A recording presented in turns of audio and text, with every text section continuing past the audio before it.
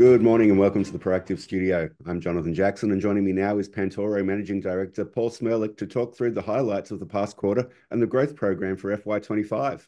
Paul, good morning. Good morning, Jonathan. How are you? I'm good. How are you? Yeah, good, thanks.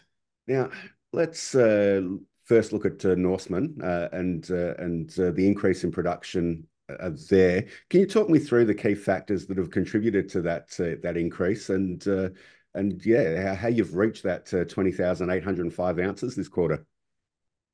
Yeah, sure. So look, as you've seen, quarter on quarter, we've had um, continuing production growth out of Norseman for, I think that's the sixth quarter in a row now. Um, you know, it's really been driven by getting that Scotia open pit down into the uh, into the high-grade material, which which we've uh, talked about many times, the need to do that.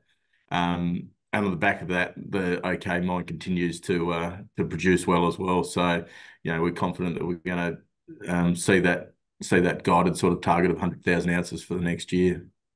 And uh, yeah, speaking of uh, of growth, a really strong cash position, gold position, uh, 100 103.9 million there.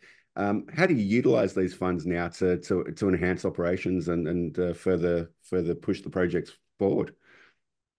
Yeah, look, uh, I guess we uh, released during the quarter our growth strategy, which will see a pretty big spend over the next mm-hmm. um, the next 12 months to start with, and that'll continue on beyond the initial 12 months. So, you know, most of our growth focus will be around getting that third underground mine up and running so that we can materially increase the production out of the uh, out of the site. Um, you know, saying that, we are in the midst of developing the Scotia underground mine. As you can as you can see, we've been developing there for the last nearly two months and um, and seeing some great development rates out of that. So a little bit of capital to go in there, but that that's going to generate some really good high-grade ore in the near term as well. And we'll talk about uh, Scotia uh, further in a second, but uh, let's touch on Nebari, the the term sorry the term loan facility with Nebari. Um, that's going to, well, it's expected to save you 11.4 million interest, which is quite a significant number. Um, talk me through the significance of that.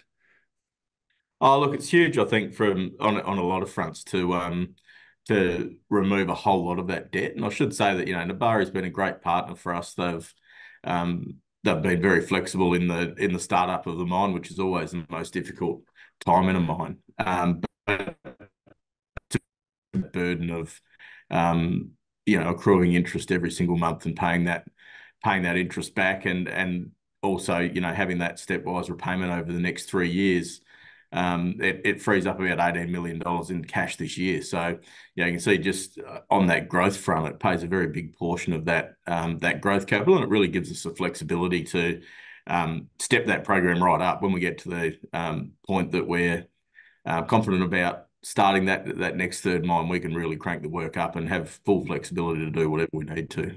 Hmm. So you mentioned uh, Scotia a minute ago. It's seen significant developments.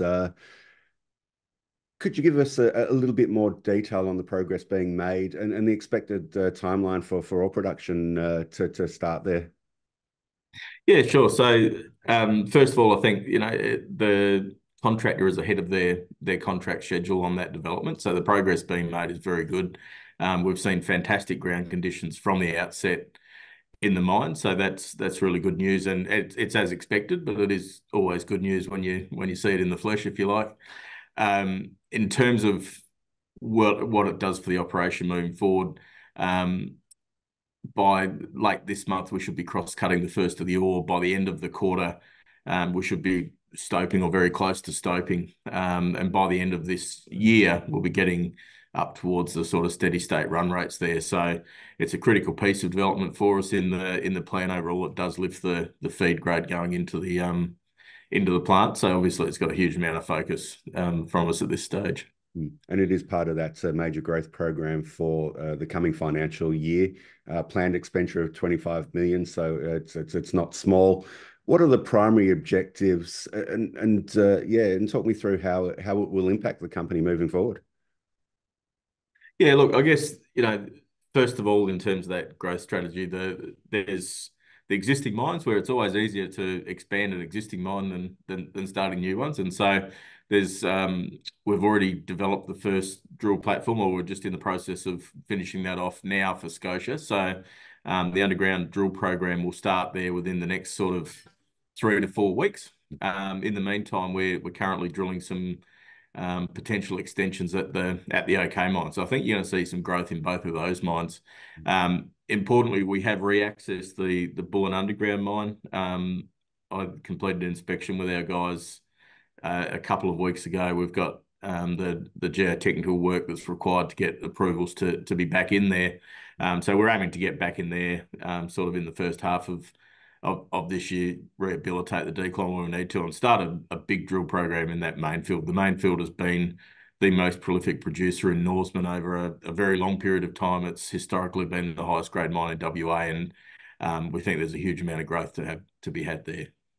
Paul, um, plenty going on and plenty to look forward to. Uh, thanks for your time today. Great. Thanks, Jonathan. Look forward to speaking again.